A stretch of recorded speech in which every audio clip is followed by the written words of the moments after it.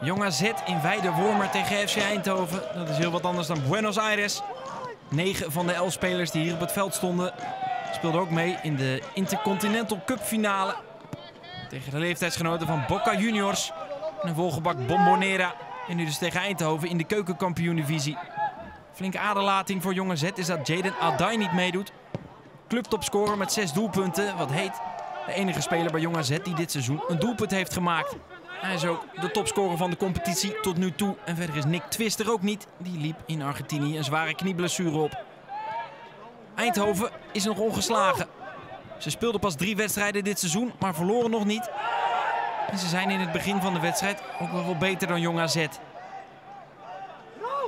Schotje hier uit de tweede lijn van Dorenbusch. Wordt er nog even geclaimd uh, dat er een handsbal zou zijn gemaakt, maar dat is niet het geval. Ziet ook Willem Wijs, de trainer van Eindhoven. Corner dan Jong AZ kregen vorige week tegen ADO Den Haag 4 tegen in één wedstrijd. Het is niet het uh, sterkste punt van Jong AZ, het verdedigen van corners. Maar nu valt het mee. Dit is ook een halve corner, zo'n lange inworp. En ook nu levert het weer gevaar op Van Dorm. En dan blijft hij nog liggen, wordt er een beuk uitgedeeld. En is de bal nog niet weg. Awuso Duro, het is rommelig. En daar kan uh, Jong AZ dan even ademhalen. Even Rotier, spits bij Eindhoven. Hij kan hem ook niet maken. Prieske beukt zich er nog doorheen, maar zonder resultaat. Het blijft 0-0. Vrije bal, gevaarlijke plek. Aan me voor de lucht in. En dan gaat Rotier. Rotier. Dit soort momentjes moet Eindhoven het hebben.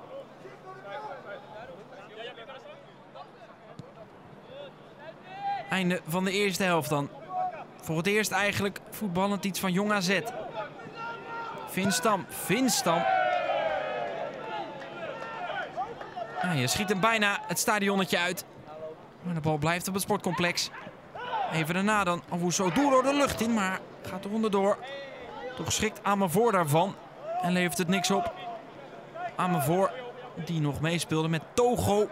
Interlands tegen Kaapverdië. Voor het eerst in acht jaar werd hij opgeroepen. Pascal Jansen, trainer van het eerste van AZ, natuurlijk op de tribune. Dave Kwakman, doelpuntenmaker in uh, La Bombonera. Goeie bal en een goal ook. Maar er wordt gefloten, want uh, Rosangelo Daal staat buiten spel. En dat klopt, is goed te zien. Een fijne paas van Kwakman. Vinstam weer. En Meerdink, stijlvol, Stam. Nu weer een goal. Heerlijk assist van Max Meerdink, maar ook nu gaat het niet door. Robin Verijken, weer de hand in de lucht voor buitenspel. De vlag was omhoog. Maar hier zit niet te zien. Dus gaan we er maar vanuit dat de grensrechter het goed heeft. Maar kantje boord was het wel. En zo nog altijd geen geldig doelpunt gemaakt. Aan me voor. Eindhoven weer. Weer een hoge bal. Hij schrikt er bijna van, Joey Slegers. Grote kans. Zeker in deze wedstrijd, want zoveel grote kansen zijn er niet. Slegers nu achter de bal voor weer een vrije bal. Hoge ballen. Daar is Jong AZ kwetsbaar. Dan kan er iets ontstaan. Aan voor. Kiezelhard. Maar wel naast. Niemand die hem dekt bij Jong AZ.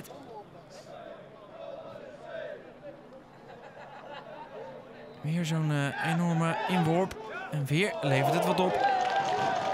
Prima redding van uh, Owusu Oduro. Maakt indruk in die wedstrijd tegen Boca. Hele talentvolle keeper Owusu Oduro. Maar Eindhoven heeft wel de langste adem. Ze zijn ook in de tweede helft wel wat gevaarlijker.